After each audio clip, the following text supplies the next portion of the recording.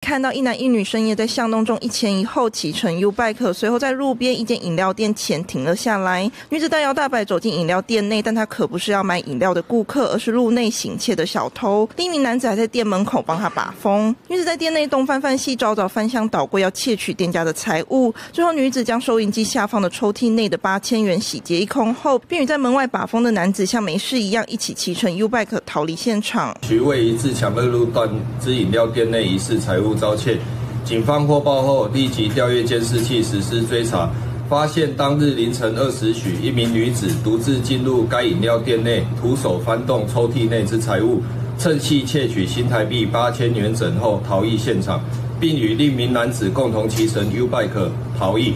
警方循线追查，锁定该两名窃嫌之身份，并循线通知其到案说明。案发在五号清晨，高雄自强二路的饮料店，店家隔天开店才发现店内的抽屉被翻动过，里头的现金不翼而飞，紧急到派出所报案。警方巡线锁定对象，不到一天就找到嫌犯住处，将这对鸳鸯大盗逮捕归案。